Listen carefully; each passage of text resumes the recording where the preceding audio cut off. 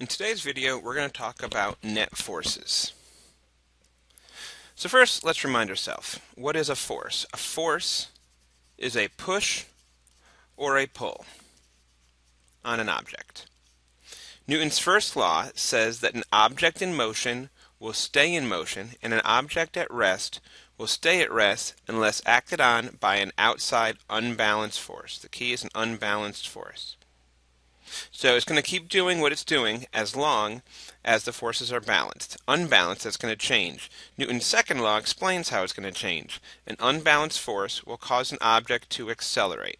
And we'll remember that accelerate is a change in speed or a change in direction. Newton's second law is explained with the formula uh, force equals mass times acceleration. So if we take a look at this ball, it has 10 newtons of force being applied to it. So we know that if there's 10 newtons being applied to this ball, there's no other forces over here, that this there's 10 newtons going this way.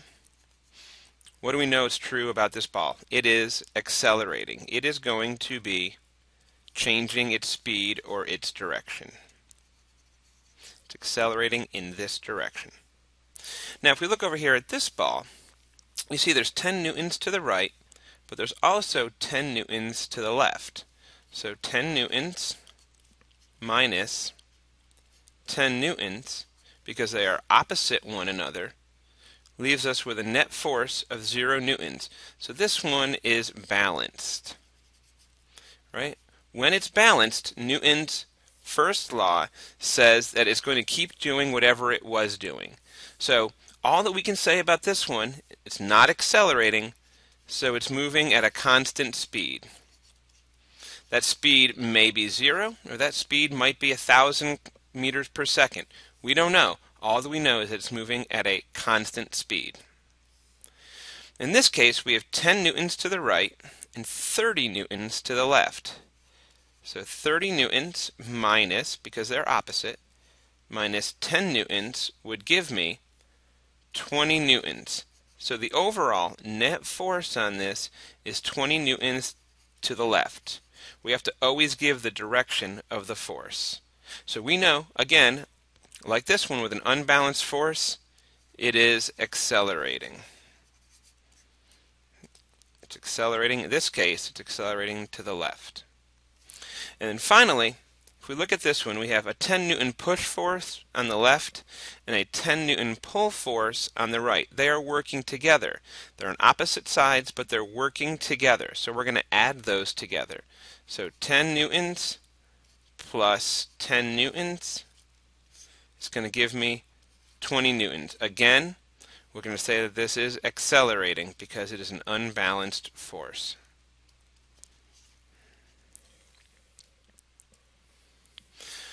Right, here we have a hedgehog sitting on a table. Right? Gravity is pulling down on that hedgehog. Now, if gravity was the only force, this hedgehog would be falling down and accelerated. But he's not. He's just sitting there, not moving at all. So we know that he, the forces on him must be balanced. He's at a constant speed. So where is that other force coming from? This is what we call the normal force. So the normal force is this force that's resisting gravity. However much gravity is pulling down, the normal normal force is pushing back up to match it. Okay, so whenever you're standing on the on the ground, gravity is pulling down on you with a certain amount of force, but the normal force is pushing back up with an equal amount, which is why this hedgehog is sitting here standing still. Here we have an airplane which is moving forward with 80,000 newtons of force. Drag, all of the air that's hitting the wings and hitting the airplane, is applying 80,000 newtons of force. That's the friction, it's resisting movement. The wings are lifting the airplane up with 60,000 newtons of force, and the weight of the airplane is pulling it down. Gravity is pulling down with 60,000 newtons of force. Well, what do we know to be true then about this airplane? Okay, 60,000 up and 60,000 down, those cancel out, so there's 0 newtons of net force up and down. 80,000 forward and 80,000 drag the opposite direction, so there's zero newtons of force moving it forward or back. So the net forces on this airplane are zero. Does that mean that this airplane isn't moving? Well, for the sake of these passengers, I sure hope not. What it means is that this airplane is moving at a constant speed. Balanced forces mean that it's moving at a constant speed. What are the net forces on this box? You may want to pause the video and see if you can figure it out on your own. We know that there's 100 newtons of force pulling down and 100 newtons of force pushing up. So we know 100 newtons minus 100 newtons gives it me 0. So we know that these forces right here cancel out. They are balanced. It is not accelerating in this direction either way. We know there's 200 newtons of force pushing to the right and 100 newtons of force pushing to the left. So we know there's 200 minus 100 newtons of force. So the net force is 100 newtons of force, and since the stronger force is pushing to the right, we know it's 100 newtons of force pushing to the right. So, is this object accelerating? If so, how much and in what direction. So we're going to see here that we have the mass of this box is 25 kilograms. We know that there's 100 newtons pushing to the right and 100 newtons pushing to the left.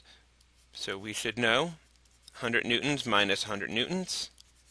We recognize that these are balanced. There's 100 newtons pushing up and 100 newtons pushing down and an additional 50 newtons pushing down right? We can see that this 100 newtons and this 100 newtons are going to cancel each other out. So now we're left with a net force of 50 newtons. And we know that that net force is pushing down. We know that the mass is 25 kilograms, right? You can see that we're writing down our givens. Our unknown, we want to know if it's accelerating. Accelerating, we don't know. Our formula, force equals mass times acceleration. So our, our acceleration is going to be 2 meters per second squared. If you're not sure about this calculation, go back and check some of our earlier videos. Now, I want you to try this one. If we give you these forces right here, I want to know what is the acceleration.